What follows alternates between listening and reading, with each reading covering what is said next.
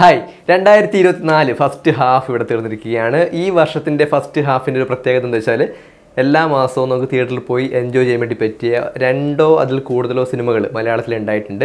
അങ്ങനെ ജനുവരി മാസം എടുത്തു കഴിഞ്ഞാൽ നമുക്ക് സ്റ്റാർട്ട് ചെയ്യുന്ന തന്നെ ആട്ടം എന്ന് പറയുന്ന എക്സ്പെരിമെന്റലായിട്ടുള്ള ഒരു സിനിമയിൽ നിന്നാണ് നമ്മുടെ ഈ വർഷത്തെ സിനിമ യാത്ര ആരംഭിക്കുന്നത്. ആനന്ദ് ഏകർഷി അങ്ങനെയായിരുന്നു ഡയറക്ടറുടെ പേര്. ഡിഫറെന്റ് ആയിട്ടുള്ളൊരു പടമായിരുന്നു. കുറച്ച് ആളുകൾക്ക് വല്ലാണ്ട് ഇഷ്ടപ്പെട്ടു. വേറെ കുറച്ച് ആൾക്കാർ ആ സിനിമ കാണാനേ പോയിട്ടില്ല. പക്ഷേ ചെറിയൊരു ഓഡിയൻസിനെ നല്ല രീതിയിൽ എൻജോയ് ചെയ്യിപ്പിക്കാനായിട്ട് ആ സിനിമയ്ക്ക് കഴിഞ്ഞിട്ടുണ്ട്. ജനുവരിയിൽ റിലീസായ രണ്ടാമത്തെ സിനിമയാണ് ഓസ്ലർ. ഓസ്ലർ മിഥുൻ മാനുവൽ തോമസിന്റെ പടമാണ്. മമ്മൂട്ടിയുടെ ഗസ്റ്റ് അപ്പിയറൻസും അതുപോലെ തന്നെ സിനിമയുടെ മൊത്തത്തിലുള്ളൊരു ട്രീറ്റ്മെന്റും കാര്യങ്ങളൊക്കെ എടുത്ത് നോക്കിക്കഴിഞ്ഞാൽ സിനിമ അടിപൊളിയായിരുന്നു. അതെടുത്ത് മാറ്റി വെച്ച് കഴിഞ്ഞാൽ ഒരു നോർമൽ ത്രില്ലർ മൂഡിലുള്ള പടമാണ്. അതായത് ഒരു സാധാരണ ത്രില്ലർ പക്ഷേ മമ്മൂട്ടിയുടെ ഗസ്റ്റ് അപ്പിയറൻസ് അതുപോലെ തന്നെ സിനിമയുടെ മൊത്തത്തിലുള്ളൊരു മേക്കിംഗ് ആ സിനിമയെ വേറൊരു ലെവലിൽ എത്തിച്ചു എന്ന് വേണം പറയാനായിട്ട്. അതുപോലെ തന്നെ ജനുവരിയിലെ മറ്റൊരു റിലീസ് എന്ന് വെച്ചാൽ മലയക്കോട്ടെ വാലിബനായിരുന്നു നമ്മളെല്ലാവരും വലിയ പ്രതീക്ഷയോടെ കാത്തിരുന്ന സിനിമയാണ് എനിക്ക് പേഴ്സണലി വലിയൊരു എന്താണ് വലിയൊരു ഹൈ തന്ന സിനിമയല്ല മലയക്കോട്ടെ വാലിബൻ എനിക്കത് പൊതുവേ ഒരു നിരാശ തന്നിട്ടുള്ള സിനിമയായിരുന്നു ഫെബ്രുവരിയിലേക്ക് വന്നു കഴിഞ്ഞാൽ മൂന്ന് ഡിഫറെന്റ് പടം മൂന്ന് പടങ്ങളും ഗംഭീരമായിരുന്നു. പ്രേമലു മഞ്ഞുമൽ ബോയ്സ് ഭ്രമയുഗം. മൂന്ന് ടൈപ്പ് പടമാണ് പക്ഷേ മൂന്നും അടിപൊളിയായിരുന്നു. അപ്പോൾ ഫെബ്രുവരി ഞാൻ വല്ലാണ്ട് സെലിബ്രേറ്റ് ചെയ്ത ഒരു മാസമായിരുന്നു. കിടിലം പടങ്ങൾ മൂന്ന് വെറൈറ്റി ആയിട്ടുള്ള പടങ്ങൾ മൂന്നും നല്ല അടിപൊളിയായിരുന്നു. മാർച്ചിലേക്ക് വന്നു കഴിഞ്ഞാൽ ആ, ഉല്ലാസ് ചമ്മന്റെ ഫസ്റ്റ് പടം ആ, അഞ്ചക്കൊക്ക കോക്കാൻ അതുപോലെ തന്നെ ആട് ജീവിതം. അഞ്ചക്കള്ള അഞ്ചക്കള്ള കോക്കാൻ എനിക്ക് തോന്നുന്നു ഒ ടി ടി വന്നതിന് ശേഷമാണ് ആൾക്കാർ കുറച്ചുകൂടി അതിനെ സെലിബ്രേറ്റ് ചെയ്യാൻ വേണ്ടി തുടങ്ങിയത്. പക്ഷേ ആ സിനിമ തിയേറ്ററിലിരുന്ന് കാണാൻ വേണ്ടി പറ്റി എന്നുള്ളതാണ് എന്റെ ഏറ്റവും വലിയ സന്തോഷം. ഒരു കിടിലമായിട്ടുള്ള പടമായിരുന്നു.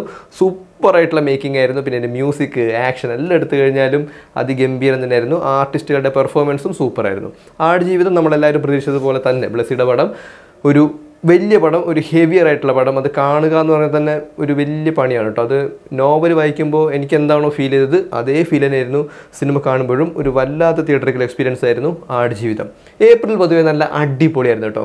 ആവേശം.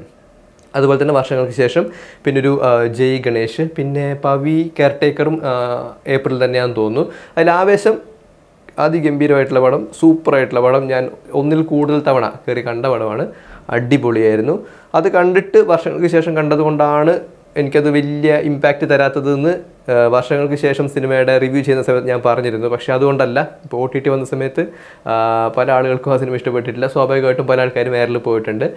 പക്ഷേ എന്താണ് കണ്ടിരിക്കാൻ നിവിൻ പോളി വന്നതിന് ശേഷമുള്ള ഭാഗങ്ങളൊക്കെ കിടിലമായിരുന്നു. പിന്നെ ജയ് ഗണേശനും ചെറിയൊരു ശതമാനം ഓഡിയൻസിനെ തൃപ്തിപ്പെടുത്താനായിട്ട് കഴിഞ്ഞിട്ടുണ്ട്. പിന്നെ പവി കെയർടേക്കർ വലിയ രീതിയിലൊന്നും ശ്രദ്ധിക്കപ്പെട്ടിട്ടില്ല. അങ്ങനെ മെയ് ഒന്നാം തീയതി റിലീസായ പടമാണ് നമ്മുടെ നിവിൻ പോളിയുടെ പടം മലയാളി ഫ്രം ഇന്ത്യ. ഒരു എന്റർടൈൻമെന്റ് മൂഡിലുള്ള പടമായിരുന്നു. ഒരു ചെറിയ ശതമാനം ഓഡിയൻസിനെ അത് തൃപ്തിപ്പെടുത്തിയിട്ടുണ്ട്. വലിയ ഹിറ്റ് എന്ന് പറയാൻ പറ്റില്ല എന്നാൽ വലിയ ഫ്ലോപ്പും അല്ല. കൊള്ളാം കുഴപ്പമില്ലാത്തൊരു പടം. പിന്നെ മെയ്യിൽ ഏറ്റവും വലിയ റിലീസ് എന്ന് വെച്ചാൽ ടർബോ ആയിരുന്നു. ടർബോ ഒരു ആക്ഷൻ എന്റർടൈനർ മൂഡിലുള്ള പടമാണ്. ഫസ്റ്റ് ഹാഫ് കുറച്ച് നിരാശയായിരുന്നു പക്ഷേ സെക്കൻഡ് ഹാഫിലെ ആക്ഷൻ ചെയ്സ് ഇതൊക്കെ ചേർത്തിട്ട് ഓവറോൾ നോക്കിക്കഴിഞ്ഞാൽ നല്ലൊരു തിയേറ്റർ എക്സ്പീരിയൻസ് ആയിരുന്നു ടർബോ ഇതിനിടയിൽ ഗുരുവായൂർ അമ്പലനടയിൽ റിലീസായി നല്ലൊരു കോമഡി എന്റർടൈനർ ആയിരുന്നു ആ പടം. സെക്കൻഡ് ഹാഫ് ഞാൻ നേരത്തെ അതിന്റെ റിവ്യൂവിൽ തന്നെ പറഞ്ഞിട്ടുണ്ട്. എനിക്ക് അത്ര സാറ്റിസ്ഫൈ ചെയ്യിച്ചിട്ടില്ല അതുപോലെ തന്നെ സിനിമയും ഓവറോൾ ആയിട്ട് നോക്കിക്കഴിഞ്ഞാൽ നല്ലൊരു എക്സ്പീരിയൻസ് ആയിരുന്നു. പിന്നെ ഇതിനിടയ്ക്ക് ചെറിയ ചെറിയ ചില സിനിമകളൊക്കെ റിലീസായിട്ട് നല്ല റെസ്പോൺസ് വന്നിട്ടുള്ളതൊന്ന് തലവൻ അതുപോലെ തന്നെ ഗോളം. മന്ദാകിനി. ഇതൊക്കെ ചെറിയ ചെറിയ പടങ്ങളായിരുന്നു. ഞാൻ ഒരിക്കലും നല്ലൊരു സിനിമയായിരിക്കും എന്ന് വിചാരിച്ചിട്ട് കയറിയതല്ല പക്ഷേ നല്ല എക്സ്പീരിയൻസ് ആയിരുന്നു.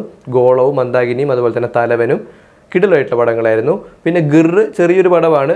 എനിക്ക് വലിയ നിരാശ തന്ന സിനിമയാണ് ഗിർറ്. അതുപോലെ തന്നെ ജൂണിലേക്ക് വന്നു കഴിഞ്ഞാൽ ഉള്ളൊഴുക്കും അതുപോലെ തന്നെ ഗഗനചാരിയും അത്യാവശ്യം നല്ല വെറൈറ്റി ആയിട്ടുള്ള പടങ്ങളായിരുന്നു. അതായത് നമ്മൾ ഫെബ്രുവരി പറഞ്ഞതുപോലെ തന്നെ രണ്ട് ടൈപ്പ് പടങ്ങളാണ്. പക്ഷേ രണ്ടും തരുന്ന എക്സ്പീരിയൻസ് വേറെ തന്നെയായിരുന്നു. രണ്ട് നല്ല സിനിമകളായിരുന്നു അത്. അപ്പോൾ ഇതാണ് നമ്മുടെ ഫസ്റ്റ് ഹാഫ് എന്ന് പറയുന്നത്. പിന്നെ മലയാളത്തിൽ അല്ലാതെ പുറത്തുനിന്ന് വന്ന ചില സിനിമകളും ഫസ്റ്റ് ഹാഫിൽ നല്ലൊരു ഇമ്പാക്റ്റ് ഉണ്ടാക്കിയിട്ടുണ്ട്. അതിലൊന്ന് മില്ലറാണ് ക്യാപ്റ്റൻ മില്ലർ അതുപോലെ തന്നെ മഹാരാജ പിന്നെ ഇപ്പോൾ ഓടിക്കൊണ്ടിരിക്കുന്ന കൽക്കി എന്ന് പറയുന്ന സിനിമ. ഈ മൂന്ന് പുറമേ നിന്ന് വന്ന പടങ്ങളും നമ്മുടെ ഫസ്റ്റ് ഹാഫിനെ കുറച്ചുകൂടി എന്താണ് കളർഫുള്ളാക്കി കുറച്ച് റിച്ച് ആക്കി. So hopefully waiting for the second half okay so see in the next video stick around